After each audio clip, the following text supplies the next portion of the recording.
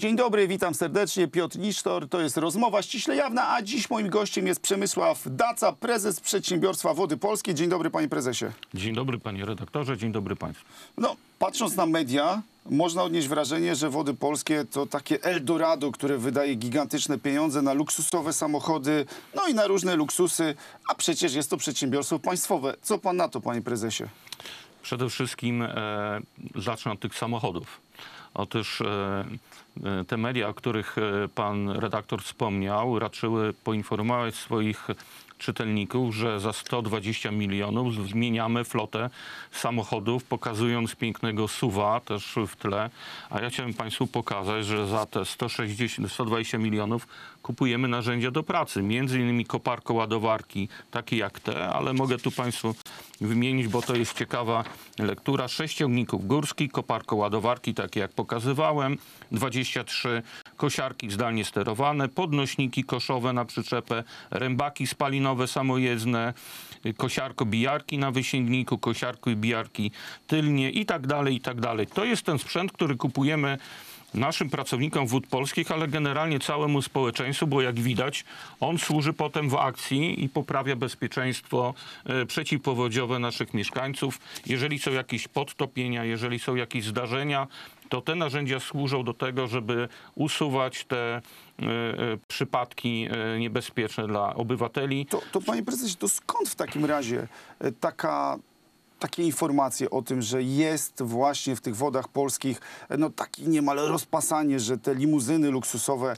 e, sobie zarząd e, i wysocy rangą pracownicy kupują.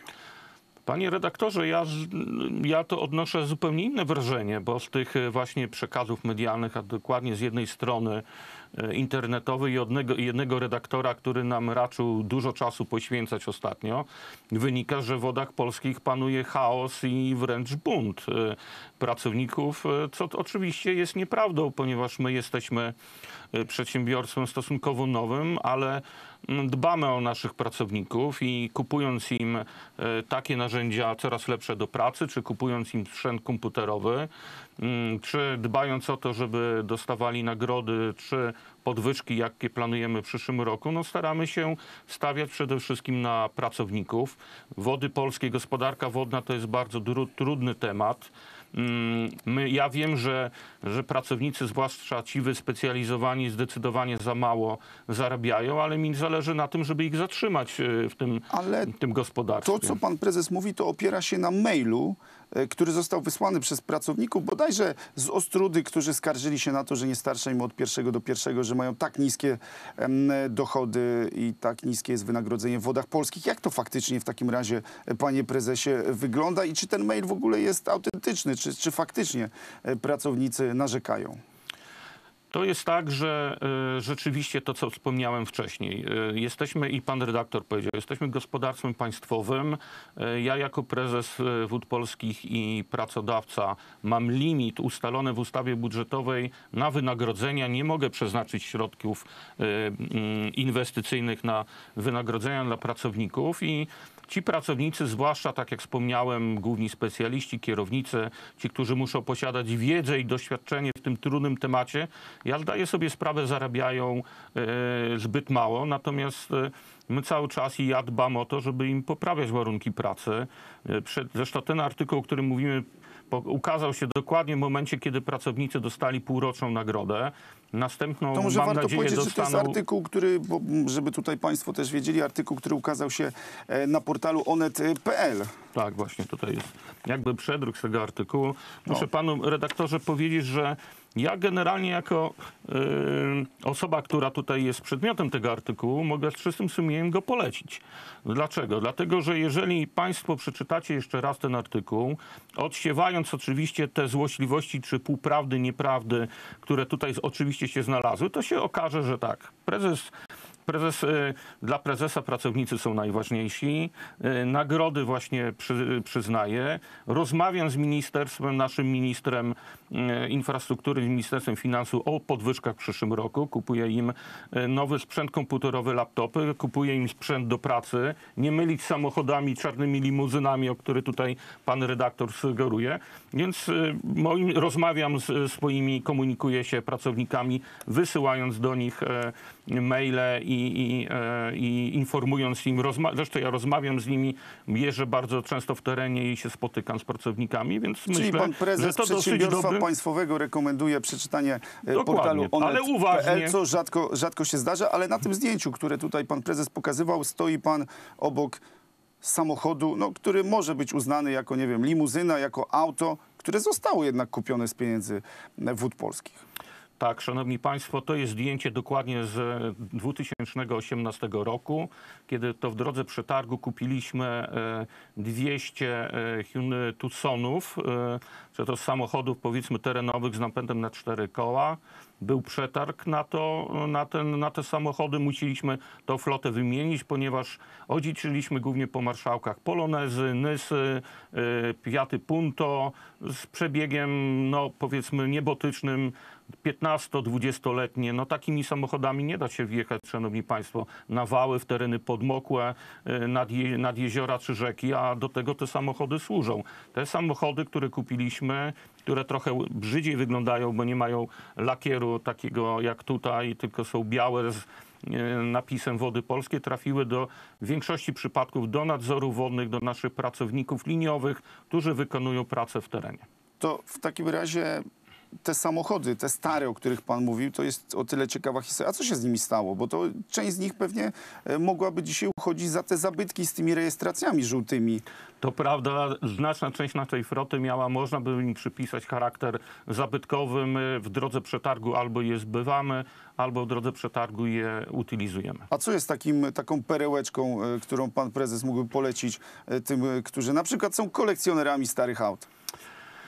No, panie redaktorze, my takiej floty w terenie w całej Polsce mamy bardzo dużo. Trudno mi powiedzieć, ale były takie przypadki jak y, polonezy traki albo ym, kwiaty punto, no, t- takie dwudziestoletnie, więc z przebiegiem. polonezy to- Nyski, żuki, tak, więc to można by było wybierać, tak można powiedzieć, jak, nawet jak wojsko albo jeszcze gorzej. To w takim razie te samochody zostały nabyte, a jak wygląda plan w ogóle? E, Czy planuje pan jakieś limuzyny kupić? Nie wiem, a pan czym jeździ jako prezes? To może takie pytanie panu zadam. Ja jeżdżę y, Skodą Superb z przebiegiem już ponad 100 tysięcy y, kilometrów, których nie kupiliśmy, bo mamy takie dwie, tylko wynajęliśmy i oddajemy je y, na początku przyszłego roku. Więc jeżeli chodzi o zarząd, y, jak jeżdżę po całej Polsce, to staramy się raczej wynajmować samochody y, niż je kupować. Czyli w takim razie jak ta Skoda zostanie oddana, to co będzie następne? E, Ja tak cały czas myślę właśnie, że następnym samochodem jednak powinien być jakiś samochód z napędem na cztery koła, podwyższony, ponieważ nie tylko jeżdżę autostradami, ale bardzo często muszę też wjeżdżać na te wały, wjeżdżać na tereny podmokłe, zalewowe, więc chyba jakiś jednak SUV, ale jaki to, to zazwyczaj wynika z, z mm, przetargu. No, proszę pamiętać, że my sobie nie wybieramy e, samochodów. Jest przetarg, wypisujemy tam określone warunki, jakie musi spełnić samochód i potem e, są oferty, tak i ta, która ma najlepszą ofertę, e, wygrywa. Więc wtedy były to właśnie Tucsony. Na pewno nie patrzyliśmy na to pod względem wyglądu, jakości, tylko żeby miały podstawowe e, wymogi, czyli napęd na cztery koła. A jak to wygląda, jeśli chodzi o takie morale w firmie? No bo z jednej strony jest artykuł, że e, są gigantyczne pieniądze na limuzyny wydawane, z drugiej strony pracownicy, którzy mało zarabiają. E, Dostaje pan takie sygnały od pracowników no, z pytaniami, z wątpliwościami?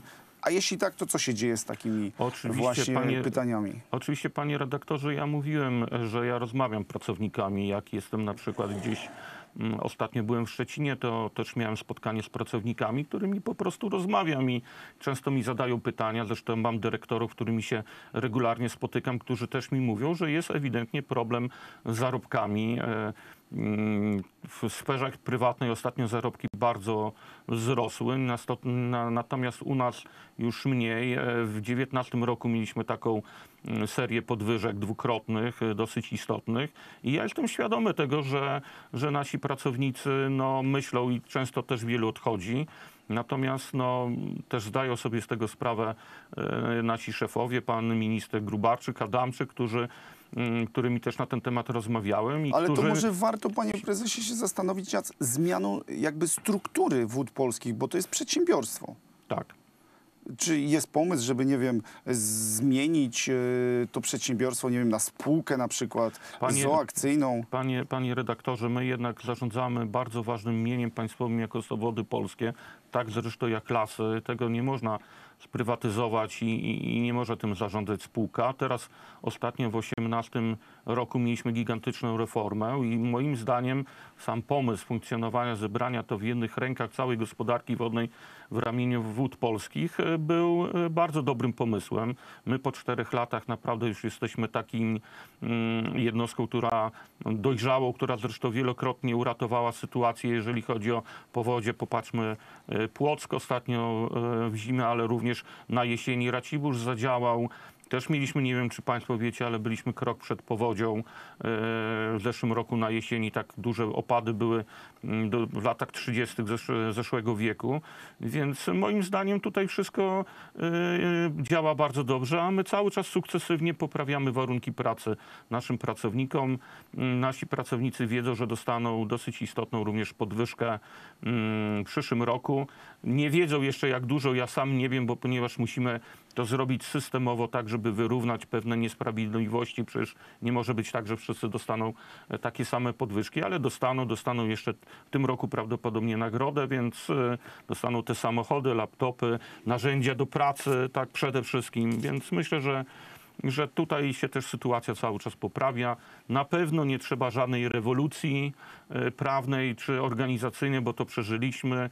I, no i by, to był bardzo trudny czas, że się scalaliśmy i, i, jakby dostosowaliśmy się do, do tych warunków, ale moim zdaniem teraz działamy bardzo dobrze. Zresztą panie redaktorze Wody Polskie dostały ostatnio mm, taką nagrodę Bursztyn e, Polskiej Gospodarki za realizację zadań w zakresie retencji korytowej, czyli przeciwdziałania skutkom suszy.